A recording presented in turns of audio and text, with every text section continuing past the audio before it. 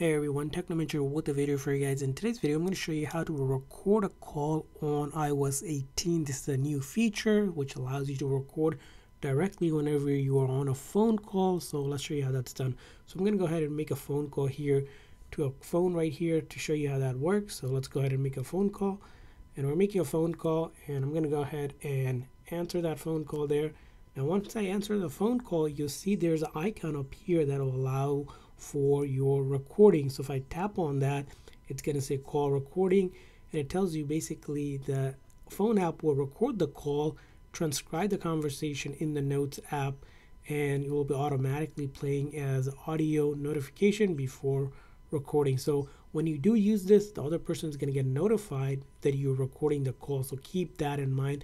That is for the safety because of the legal reasons. That's why it's built in. So when you record the call, right, it will also tell the other person that your be call is being recorded and as you can see here the recording has started right now and we're being uh, live and recording right as it's being done here and you'll just see that being happening and then once you want to stop it you simply click on it it'll stop and then it will be saved to your notes here so as you can see here the call that I had here I have it it's been transcribed and also as notes it's available here you can read through it which is pretty cool to have on the phone. So you might be wondering if you don't have this feature yet, it might be because you're not on iOS 18.1.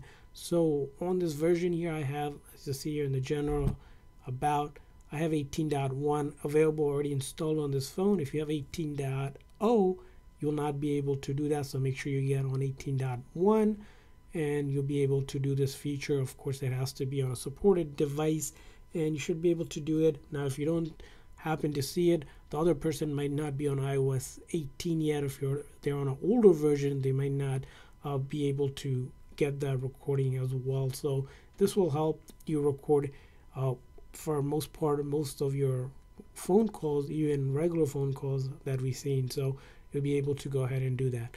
And I hope this video is helpful. If so, please consider hitting the like and subscribe button for more tips and tricks for iOS 18 and your iPhones.